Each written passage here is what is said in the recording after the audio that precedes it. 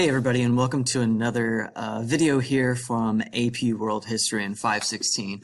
Um, today we're going to be focusing in on some content. Some of the few uh, videos before this we're talking about just kind of general introductions to the channel. In particular today I want to look at something called HIPP. It's an acronym uh, that I take my students through. And HIPP is something that we can use in our DBQ documents uh, or essays to try and get some of those second analysis and reasoning points. These are the hardest points to get, but I'm going to show you just a few really easy ways to be able to think about how you can get those HIPP points. Now, in particular, HIPP is an acronym that I use in class, and it stands for the following. H stands for historical context, all right? That is what's going on around this time frame that kind of sets the background for when the document was written.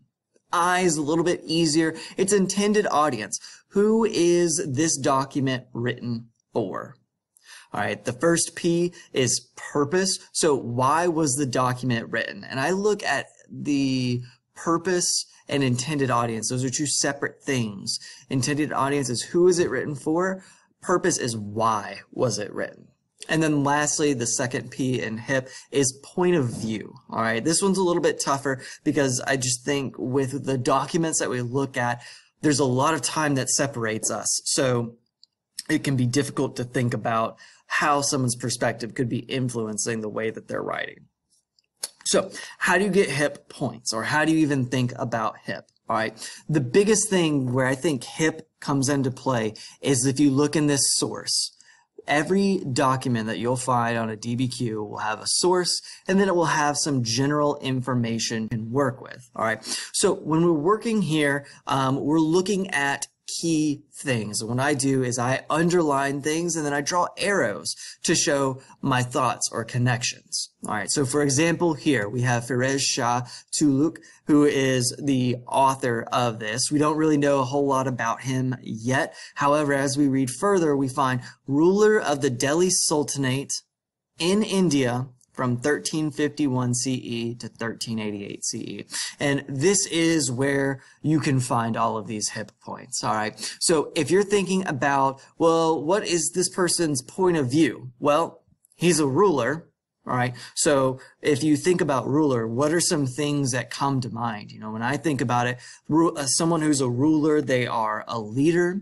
They have power. They have influence. They make the final judgment calls uh, about anything in their area that they control. Their word is the final word. So I think we can assume that if this person's the ruler, uh, we can make some good ideas or good um, connections or assumptions to say, look, because this person is a ruler, these are the things that they're saying, which shows how tolerant or intolerant these areas were about diverse opinions.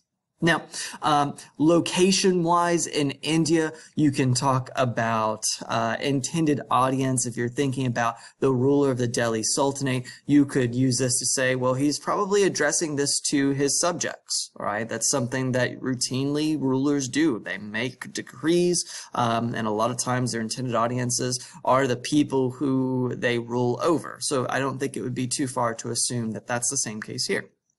And then lastly, dates are where we start to see ways that we can use contextualization. Uh, from here, 1351 to 1388, um, these are kind of some weird years to work with. But like I teach my students, there are just certain things, certain events, certain things that are happening in the world that are just big historically contextual um, ideas. And then especially when we keep in mind this prompt about diverse ideas. Well, if you think about Unit 1 and especially Unit 2, um, where we're looking at trade, well, how do ideas even spread to the point to where they can be accepted by other groups of people. And when you think about it, in this time period, we've not only got the Silk Road that is developed, it is being controlled by the Mongols during this time. Uh, we're uh, in this period called Pax Mongolica to where now people are trading even more, which means that they're probably sharing their ideas. Um, we have trade that's continuing to happen in places like the Trans-Saharan trade route, as well as the Indian Ocean trade trade route.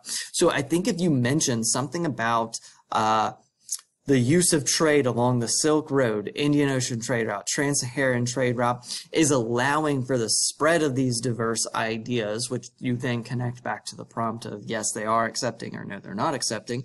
Those are easy ways that you can get HIPP points, which again is how you get that secondary point for a DBQ. All right. So before we've even looked at the document, there are really easy ways to think about uh, how you go about getting HIPP points. And what I would encourage you to do is just find a couple of practice documents um, and then go through and just look at the source only.